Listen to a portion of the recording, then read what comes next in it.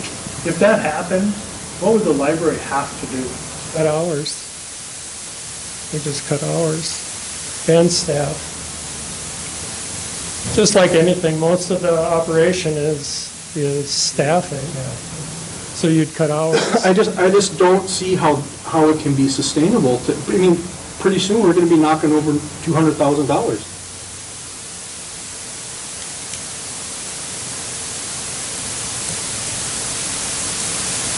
Okay, so you've got the pool next year, sixty-three thousand for three months. And Brian just reported that you had, what, uh, fifteen hundred people use it through the summer, more or less, not including lessons? Maybe almost 2,000. And that's the only thing in Almost town for the kids to do. It's the only thing we have in town for kids to do to, that's outside recreation. Kids don't use libraries? Come on. Are you kidding? I'm not saying they don't use the library, but is that a recreational use? It is for some kids. They provide services like story time, arts Come on. and crafts. There's kids up there every, I know, my kids use the library, my kids use the library a lot.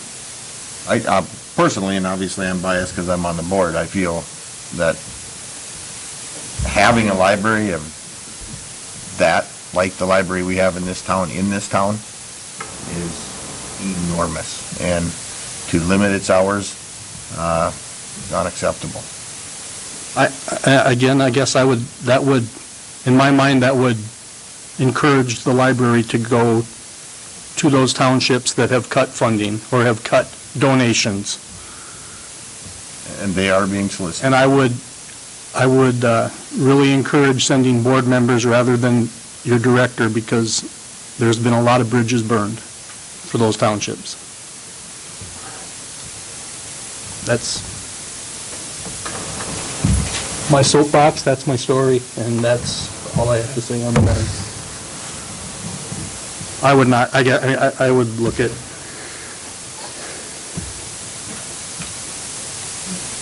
I don't know. I don't know what I look at, but again, I don't know if I'm the right guy to have the library in his portfolio, or I guess I am the right guy to have the library in his portfolio. So do we feel we're gonna pass this budget this evening or wait till next meeting?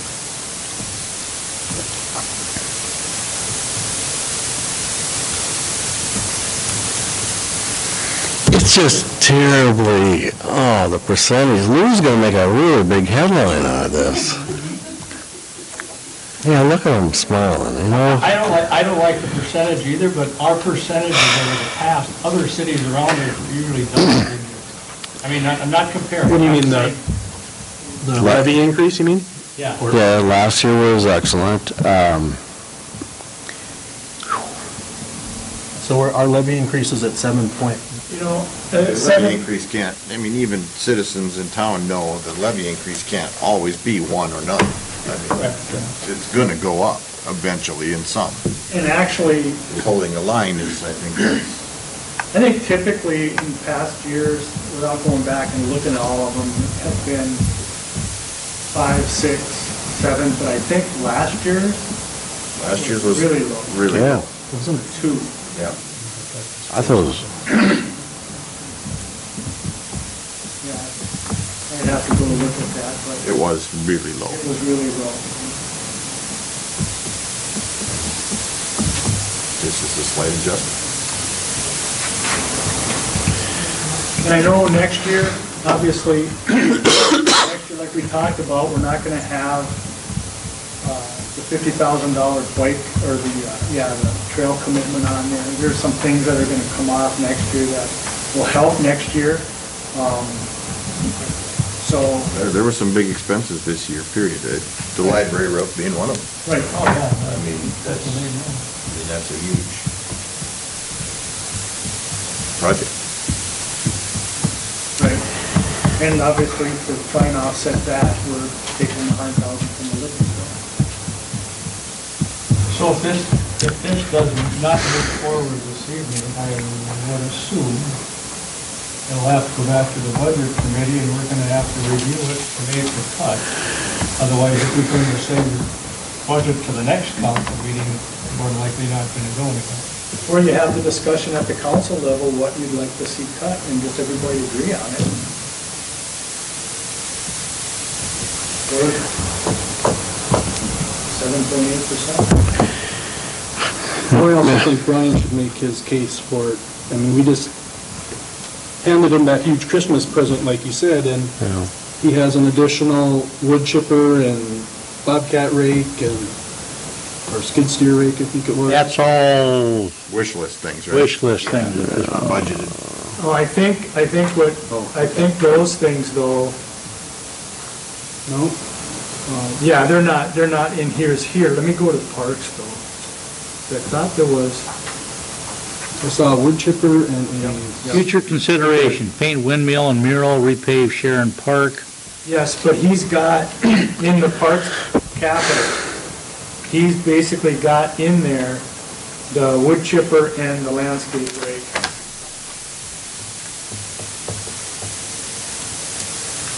For about eleven thousand dollars.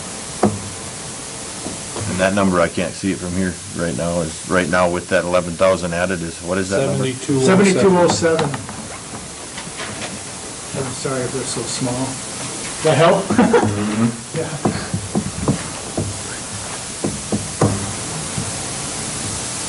So, just for the sake of doing it, let me take out. I'll try to do this first.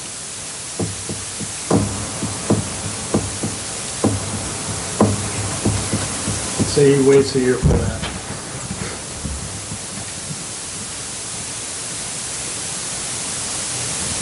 I can't do the math in my head either.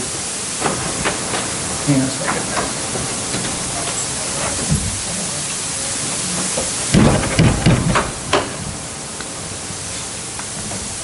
I had this thing set up so I could just adjust numbers.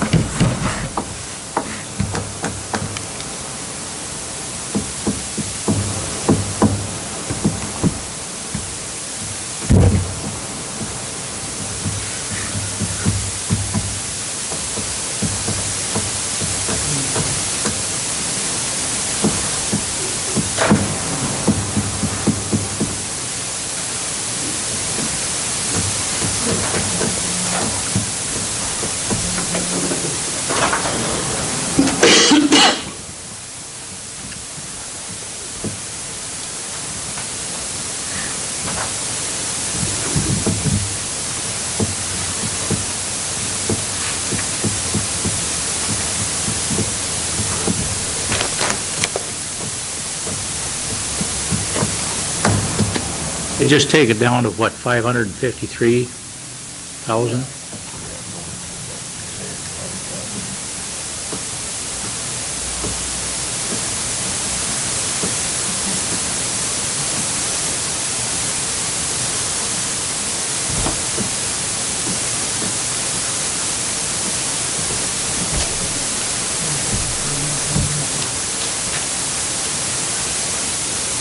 Think you changed the number already to right there.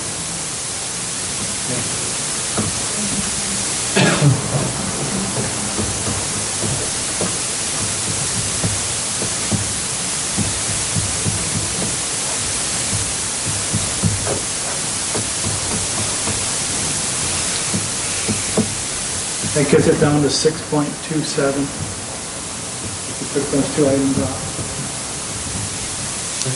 Yeah, so it go from seven point eight, six point two, six point three. That much, really?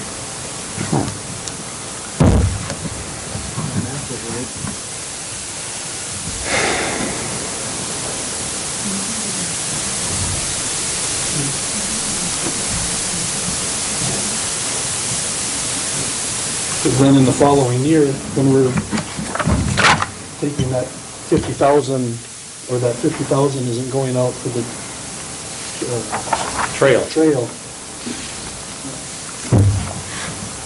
That makes, I mean, that's his, you're still thirty-eight ahead.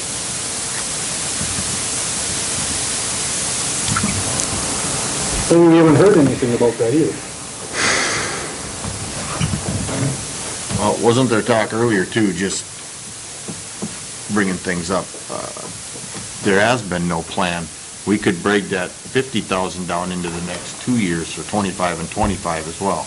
That was brought up, Yeah, uh, as a, as a way to lower, but, I mean, it's still, it's either knock twenty-five thousand off this year and add it next year, or just be done with it next year. I think it's, Six- six- When we did this in the committee, that's the way we talked about it, and we just decided Yeah. we would do it this year and be done with it, and then we would, yeah, I agree. I, I mean, I agree with that, I just, You could, if you really, would, you know, again, have Brian wait another year or whatever, and then take another ten thousand or twenty thousand from the liquor store transfer too. That would get it down a little bit more, but to be honest, after two percent of last year, six point seven, it's.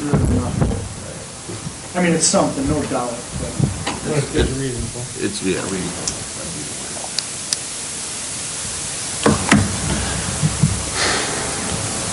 Well, I want to thank Steve and Brent for working on this. Uh, It's it's a lot of work, and and let me add. Don has done a lot of work on it. I- I know. The Reason why we've been Yeah, yeah. in such good financial shape over the years because of the work Don has done, so. Well, One of the things to think about too is, last year we didn't have a general, uh, general dollar.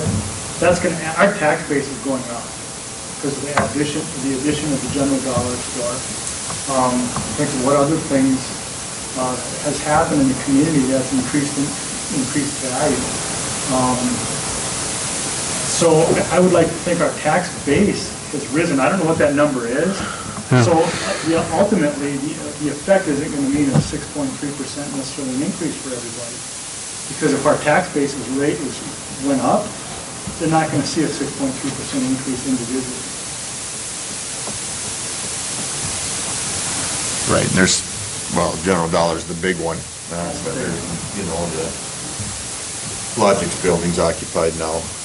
It's not in city limits, though, is it?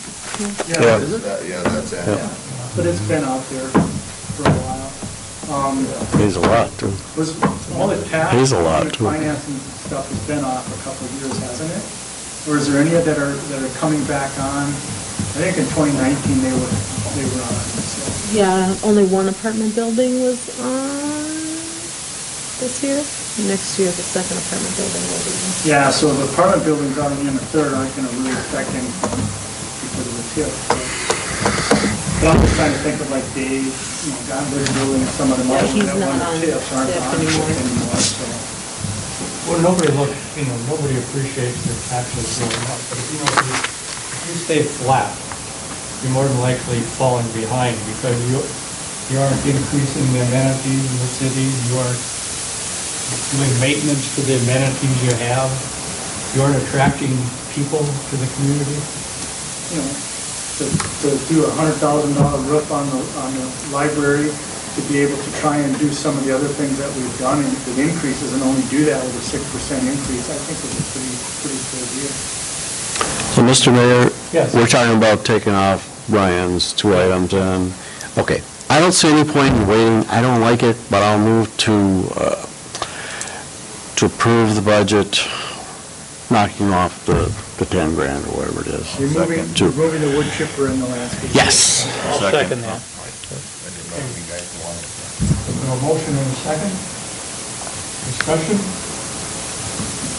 So that would bring the in- uh, increase to six point two seven?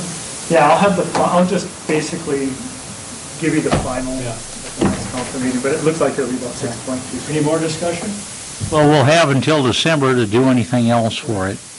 You can go. One of the things I've thought about is what, to address what Kevin brought up, is that when we went through that pay equity thing a couple of years ago, I forget, it was two years ago? Well, 2016 is when I think we had reported, or 17. Um, I think we have another one coming due, I think we passed last We did. year. was it 18? that we- Yeah, we passed last year or whatever, but Yes. when we went through that, we had a lot of inequities. And we got them straightened out. But then the library came around and said, we can do whatever we want. And that kind of upset me because after all the work we've done,